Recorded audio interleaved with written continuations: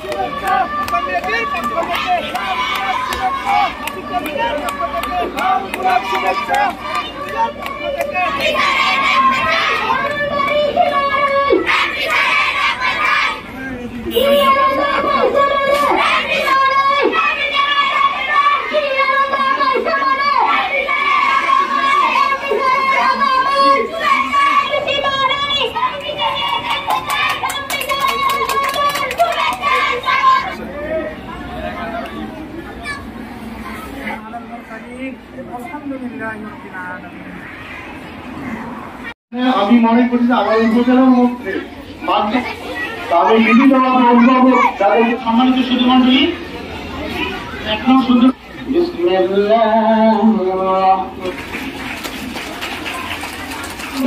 মানে আসলাম ভাই এদিকেও থাকেন অনেক দূর এগিয়ে নিয়ে গেছেন।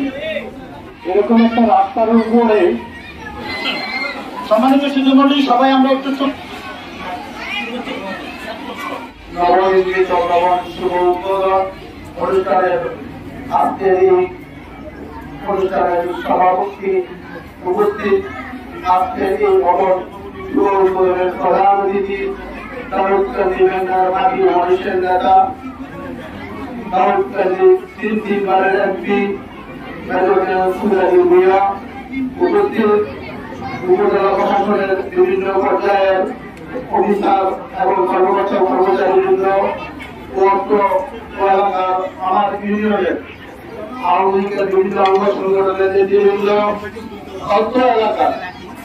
ছাত্রছাত্রীদের অভিভাবকবৃন্দ বিশেষ করে আমি মাদেরকে ধন্যবাদ জানাচ্ছি যে আজকের একটি সুন্দর পরিবেশ সুন্দর অনুষ্ঠান আপনারা উপহার দিতে পারছেন। আমি আরও ধন্যবাদ জানাই এই স্কুল ম্যানেজিং কমিটি, পরিচালনা কমিটির সভাপতি সহ সবাইকে এবং প্রধান শিক্ষক সহ প্রত্যেককে কেননা আজকে তাদের এই অক্লান্ত পরিশ্রমের কারণে আজকে একটি সুন্দর অনুষ্ঠান আমরা এমপি মহোদয়কে উপহার দিতে পারছি। আপনারা জানেন যে আমাদের মাননীয় এমপি মহোদয় কাজকে পছন্দ করেন। বিশেষ করে আমি লম্বা বক্তব্য দেব না। আমার এই ইউনিয়নে আটটা সরকারি প্রাথমিক বিদ্যালয়। আটটি সরকারি প্রাথমিক চোদ্দ বছর আগে ছেলে মেয়েরা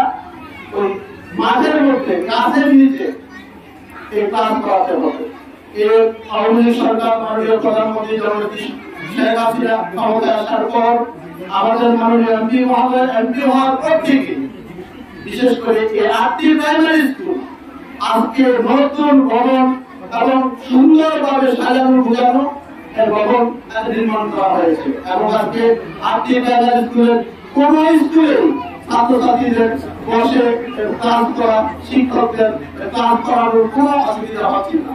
আমি মাননীয় এমপি মহোদয়কে সুন্দরপুর ইউনিয়নের পক্ষ থেকে ধন্যবাদ জানাই।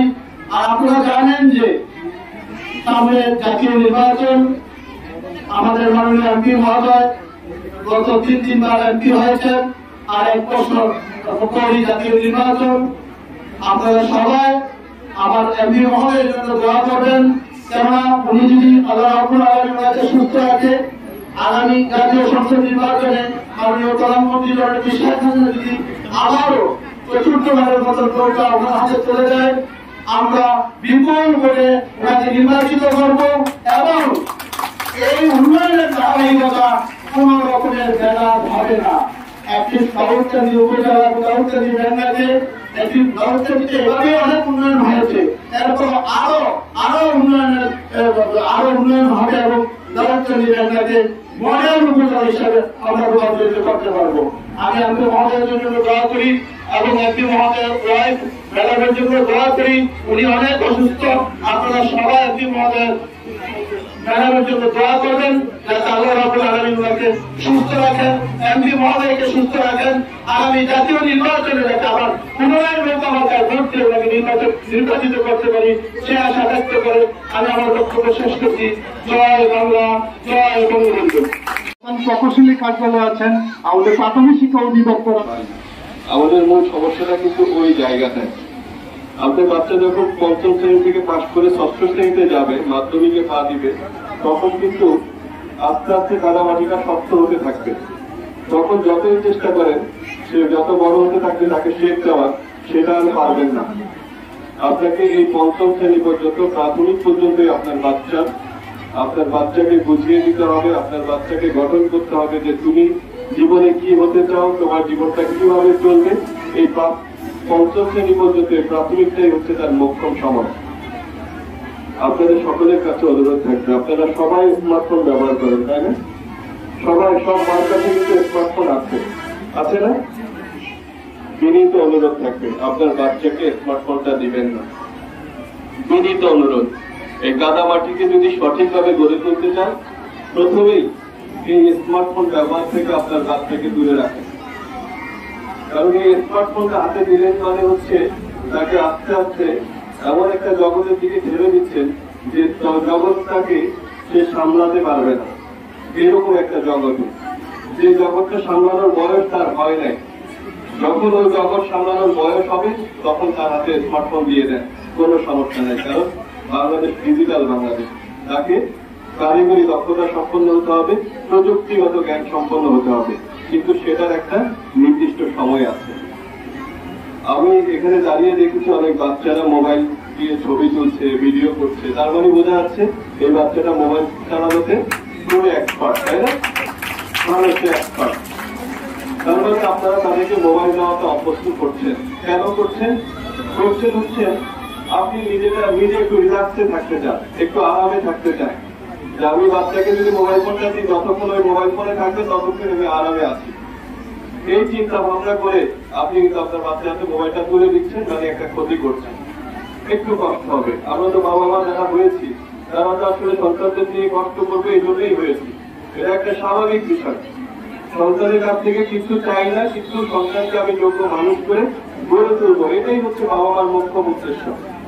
এই উদ্দেশ্য যদি সাধন করতে চাই, আমরা আপনারা যারা অভিভাবক আছেন, আপনাদের সন্তানকে সুন্দরভাবে গড়ে তোলেন।